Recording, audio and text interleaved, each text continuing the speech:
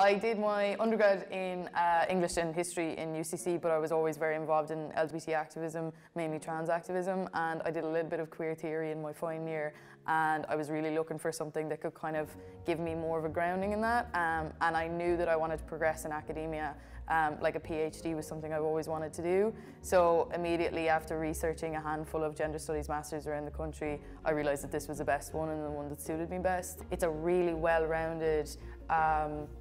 approach to what gender is for everyone in the room. Um, and even more so than that, because it's such a diverse master's that tries to guide you through as many different theoretical perspectives as possible dealing with you know like class and ability and race that it really took into consideration the diversity of our experiences as a group and just the diversity of Ireland and the world as we are in right now. And it was very much eh, like kind of a guided experience. Like if something really caught your eye a particular topic in a module or a particular reading or a particular theorist you then could go away and really, really invest in that. Um, and actually as well, one of the best things they said to us was if something isn't working for you, if you don't like a reading in the first page, stop reading it. Like that was really, really empowering, that if something doesn't work for you as an individual, then there isn't a point in wasting your time or your energy. Um, go and find something that works for you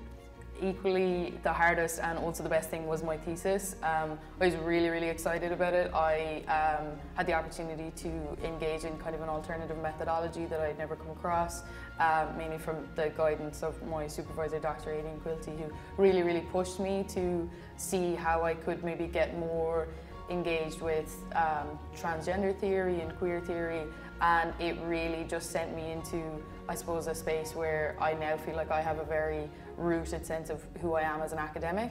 um, I know what my methodological style is, I know what my writing style is, I know the area that I want to continue into, and I, like I know what I like and I don't like, and I know what I'm good at and what I'm not good at, and that was the entire process of writing the thesis, but doing it with someone who really valued me as not just a student, but saw me very much as an equal, and that we were working together to create this body of work. I think the Masters definitely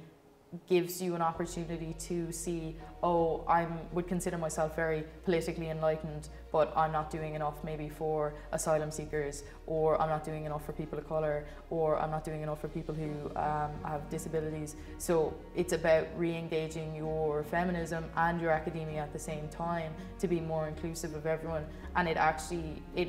values your experience as an individual, but it makes you think very much um, about the communities that you're a part of and the communities as well that you're not a part of and that you should be lending your activism to them as well.